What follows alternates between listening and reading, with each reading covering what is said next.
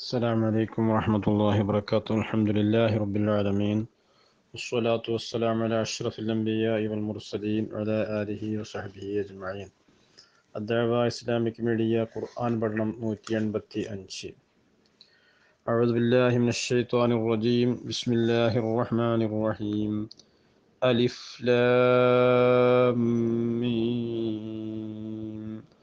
ذلك الكتاب لا ريب فيه هدى للمتقين صدق الله العظيم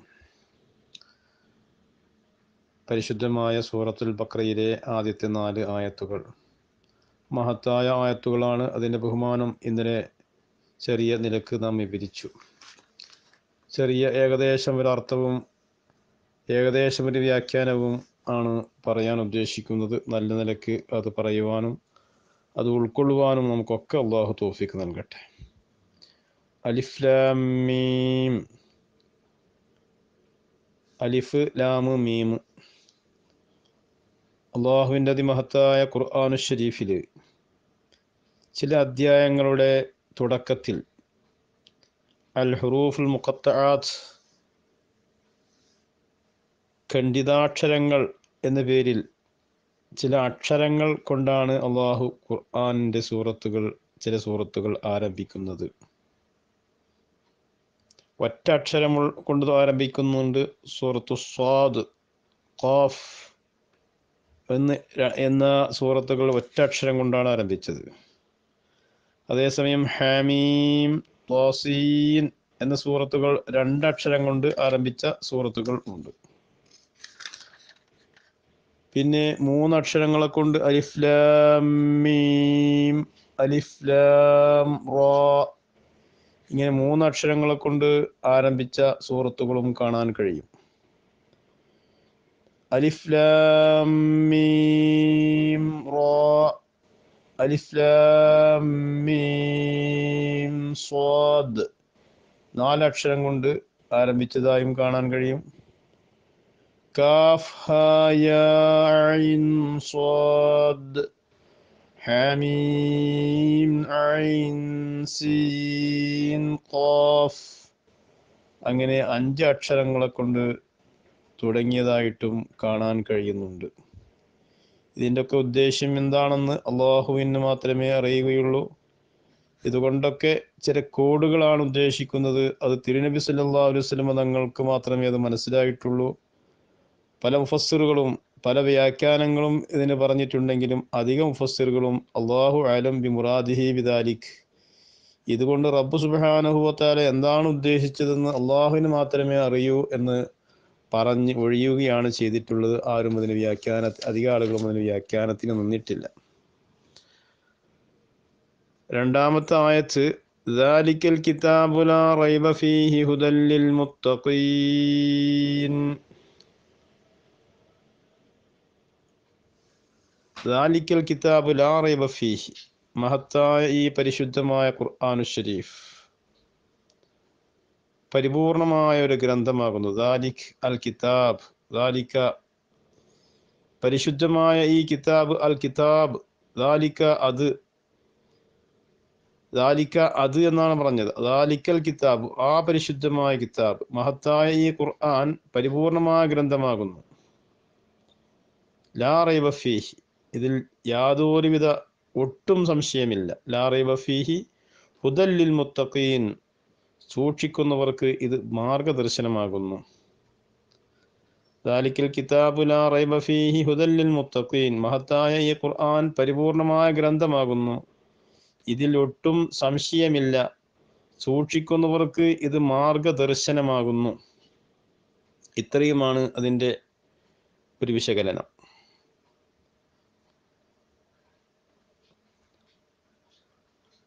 മുത്തക്കീങ്ങളായ ആളുകൾക്ക് ഹുദയാണ് പരിശുദ്ധമായ ഖുർആൻ ഷരീഫ് എന്ന് അള്ളാഹു പറഞ്ഞു. ബഹുമാനപ്പെട്ട ഇബിന് കസീർ അദ്ദേഹത്തിന് തഫ്സീൽ പറയുന്നുണ്ട്. ആർക്കാണ് തക്കവയുള്ളവർ എന്ന് പറയുന്നത്? ബഹുമാനപ്പെട്ട മെമ്പറിൽ തക്കവക്ക് ഒരുപാട് അർത്ഥങ്ങൾ പല മഹാന്മാരും പല തഫ്സീറുകളും പറഞ്ഞിട്ടുണ്ട്.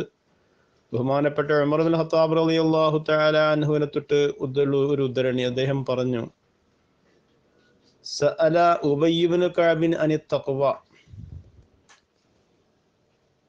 إن عمر بن الخطاب رضي الله عنه سأل أبي بن كعب عن التقوى عمر بن الخطاب رضي الله تعالى عنه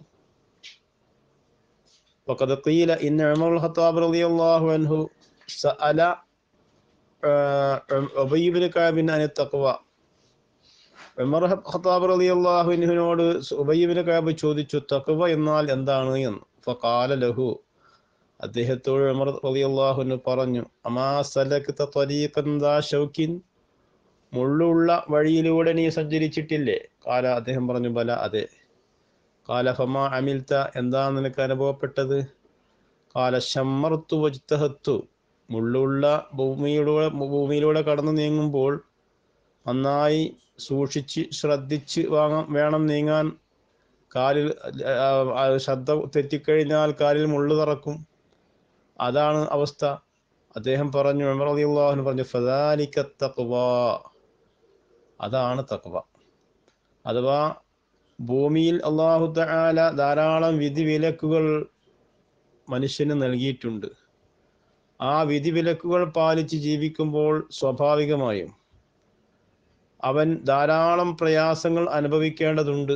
മുള്ളുള്ള ഭൂമിയിലൂടെ നടക്കുമ്പോൾ കാലിൽ മുള്ളു തറക്കാതിരിക്കാൻ ശ്രദ്ധിക്കുന്നത് പോലെ ഹറാമുകളും വേണ്ടാവൃത്തികളും മോശമായ കാര്യങ്ങളും ദേഹത്തിന്റെ ഇച്ഛകളും അങ്ങനെ തുടങ്ങി. മനുഷ്യനെ നരകത്തിലേക്ക് കൊണ്ടുപോകാനുള്ള വഴികളാണ് അധികവുമുള്ളത്. നരകത്തിലേക്ക് തെളിക്കുന്ന വിഷയങ്ങളാണ് അധികവും മനുഷ്യന്റെ മുമ്പിലുള്ളത്. അതിൽ നിന്നൊക്കെ പിന്തിരിപ്പിച്ച് സ്വർഗത്തിലേക്കുള്ള വഴിയിലേക്ക് കൊണ്ടുപോകുക. അതാണ് യഥാർത്ഥത്തിൽ തഖ്വ ബഹുമാനപ്പെട്ട വക്കത് അഹദ ഹാദൽ മാന ഇബിൻ ബഹുമാനപ്പെട്ട ഇബിൻ കസീർ അദ്ദേഹത്തിന്റെ തഫ്സീൽ പറയുകയാണ്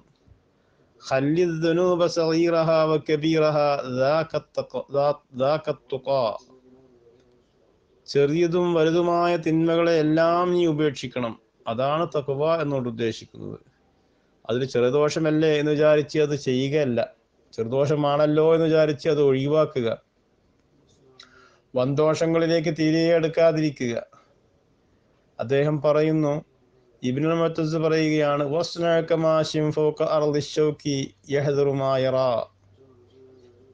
മുള്ളുള്ള ഭൂമിയിലൂടെ നടക്കുന്നത് പോലെയാണ് ഈ ഭൂമിയിൽ ജീവിക്കേണ്ടത്.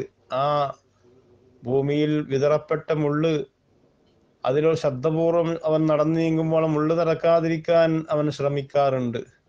ലാ തുഹക്കിറന്ന സഗീറത്തൻ ഇന്നൽ ജിബാല മിനൽ ഇന്നൽ ജിബാല മിനൽ ഹസാ ചെറിയൊരു ദോഷത്തെ പോലും നീ നിസാരമായി കാണരുത്. വലിയ വലിയ പർവതങ്ങൾ എന്നുള്ളത് അത് ധാരാളം ചെറുകല്ലുകളും ചെറുമണ്ണുകളും ഒക്കെ ഉപയോഗ കൂടിയിട്ടാണല്ലോ വലിയ പർവതം ഉണ്ടാകുന്നത് അപ്പൊ സ്വാഭാവികമായും ചെറുദോഷങ്ങൾ അത് വർദ്ധിപ്പിക്കുമ്പോൾ അത് വൻദോഷങ്ങളായി മാറുന്നുണ്ട്. അപ്പൊ എത്ര ചെറിയ ദോഷമാണെങ്കിലും അതിനെ സൂക്ഷിച്ച് ജീവിക്കുക. അതാണ് വേണ്ടത് എന്ന് ബഹുമാനപ്പെട്ട ഇബിൻ മഹത്തസ് പറഞ്ഞതായി ഇബിൻ ഗസീർ അദ്ദേഹത്തിന്റെ തഫ്സീൽ പറയുന്നു. ഇൻഷാല്ല തക്വയെക്കുറിച്ച് തക്വയെ കുറിച്ച് ധാരാളം നമുക്ക് പറയാനുണ്ട്. അള്ളാഹു സുബ്ഹാനഹു വതആല ദാലിക്കൽ കിതാബു പരിശുദ്ധമായ ഖുർആൻ ഷരീഫിനെ സംബന്ധിച്ച് അള്ളാഹു പറഞ്ഞു ഹുദൽ ഹുദല്ലിൽ മുത്തഖീൻ. ഖുർആൻ ഷരീഫിൽ സംശയിക്കാൻ ഒരിടവുമില്ല. എല്ലാം സുവ്യക്തമാണ്.